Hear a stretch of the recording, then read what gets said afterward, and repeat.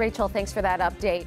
The wrath of what was Hurricane Florence hitting right here at home. The storm claiming the life of at least one child in Gaston County and in Union County. The search is underway for another missing baby boy. NBC Charlotte's Ariel Placencia now live from Union County, just north of Marshall, where a one-year-old baby boy was swept away by the floods. Ariel, what do we know? Well, Ben and Rachel, I started all my live reports on NC 218 right near Fish Road, and 218 closed at that area. And then I told you that I followed a fire truck down Fish Road, got all the way to here. And as you can see behind me now, this road is closed uh, by the Union County Sheriff's Office. And if you go just past there, which is what we did about 10 minutes ago, that's where you'll see those dozens of emergency vehicles. And when we got there, I asked the Union County Sheriff's deputies on scene if they could confirm that they were there, in fact, for this case of the missing child.